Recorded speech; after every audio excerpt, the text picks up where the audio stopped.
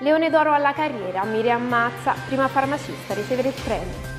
Federfarma Matera, nuovo consiglio direttivo. Unione Cattolica Farmacisti Italiani, Giuseppe Fattori, nuovo presidente.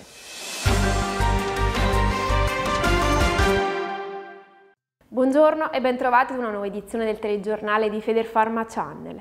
Miriam Mazza è la prima farmacista a ricevere il premio Leone d'Oro alla carriera nell'ambito del Gran Premio Internazionale di Venezia.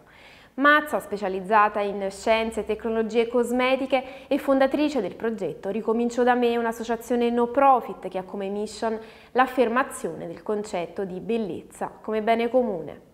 Dedico questo premio a tutte le persone che ho accudito e incontrato, perché senza di loro il mio impegno e lavoro sarebbero stati vani, dichiara la premiata. Nel corso della seduta del 23 giugno scorso sono state rinnovate le cariche del Consiglio direttivo di Federfarma Matera.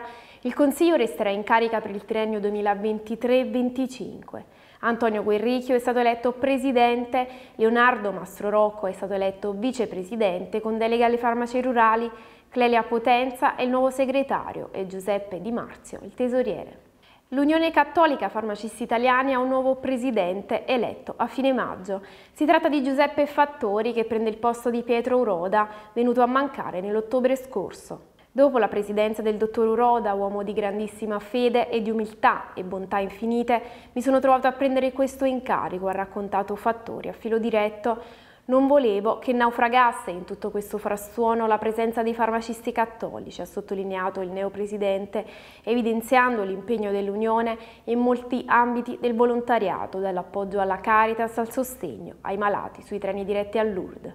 Insieme a Fattori nel Consiglio di Presidenza per il triennio 2023-26, Giorgio Falcon e Fausto Roncaia sono stati eletti vicepresidenti Francesco Scarpino è stato eletto tesoriere e Carmen Mosca segretario. Questa è la nostra ultima notizia, grazie per averci seguito, l'appuntamento è per domani con una nuova edizione del telegiornale del Farmaciano.